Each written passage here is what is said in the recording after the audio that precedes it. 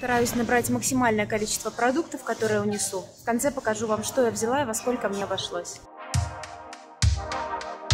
Привет! Вы на канале У Приходько, и в эти сложные времена в связи с коронавирусом я хочу показать вам, как обстоят дела у нас в Тоскане. Сейчас я собираюсь пойти в магазин за покупками. Это единственный мотив, по которому я могу выходить и передвигаться по улице. Тех остальных на улицах штрафуют и делают это беспощадно. Кроме того, в супермаркете я должна держать дистанцию, как минимум один метр от других людей. Я не могу посещать свой привычный супермаркет, где цены гораздо ниже. Мы теперь можем использовать только магазины на нашего города, близлежащие. Сейчас я поеду в более дорогой супермаркет Коп, и давайте посмотрим, как сейчас там обстоят дела, как выглядят теперь люди, как э, сменилась обстановка с тех пор, как в нашу жизнь ворвался коронавирус. Стою на светофоре, расскажу вам также, что на дорогах сейчас гораздо меньше машин, потому что единственная причина, по которой можно выйти из дома и передвигаться по проезжей части, по дороге, по улице, это либо а, поездка на работу, либо поездка в магазин, либо поездка к врачу. Другие причины, кроме этих трех, пожалуй, караются законом, и э, можно схлопотать неплохой штраф за то, что причиняешь вред э, или наносишь риск общественному здоровью.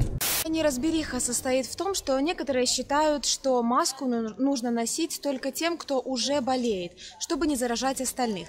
Доля правды, конечно же, в этом есть, но сейчас я вам расскажу, почему я надеваю маску. Во-первых, распространяется информация в сети о том, что частичка вируса достаточно большая, по размеру, поэтому использование маски достаточно для того, чтобы вирус отфильтровался и не вошел в дыхательные пути. Во-вторых, инкубационный период заболевания достаточно долгий, поэтому мы на протяжении всего этого инкубационного периода никогда не знаем, больны ли мы, либо нет.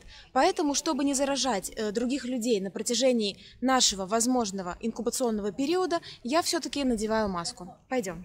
Поход в магазин напоминает некое героическое событие.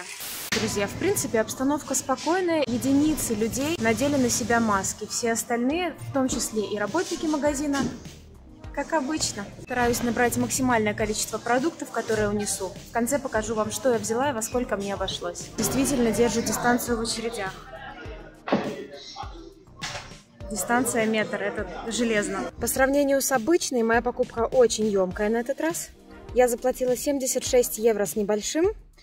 И купила в основном продукты долгого хранения, муку, картошку. В общем, я сейчас приеду и покажу вам все как есть. Все же надо сказать, что ситуация в магазине достаточно спокойная. Я ждала увидеть худшего, потому что, э, видя то, как люди реагируют, видя то, какая поднимается паника, э, можно было ожидать чего угодно. Но нет, достаточно аккуратно люди проходят друг друга, не становятся рядом, это да. А в остальном все как и прежде, даже не все носят маску. Возможно, сам размер покупки немного поменялся. Люди стараются купить за один раз больше, чтобы не возвращаться сюда в очередной раз. Так же сделала и я, поэтому моя покупка сегодня несоизмеримо большая по сравнению с тем, как я делаю покупку обычно.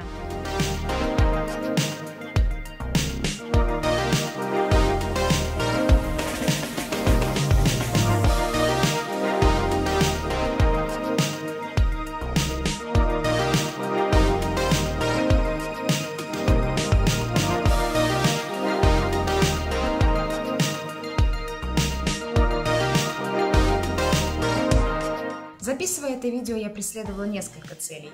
Первое – это показать вам базовый набор продуктов, о чем вы просили меня долгое время, и я постоянно вам обещала, но этого не делала. Вот смотрите. Второй моей целью было показать вам реальную обстановку на фоне коронавируса и карантина в Италии. Третьей же моей целью... А какая моя третья цель? Третьей же моей целью было все-таки вернуться из магазина, не притащив с собой всякой заразы, поэтому после того, как я трогала эти продукты, после того, как я э, была в общественном месте, я мою руки, вывешиваю свои вещи на солнце, якобы оно уничтожает вирус, и пью воду.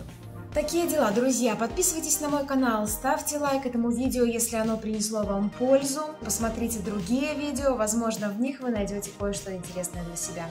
С вами была Анна Приходько. Пока-пока. you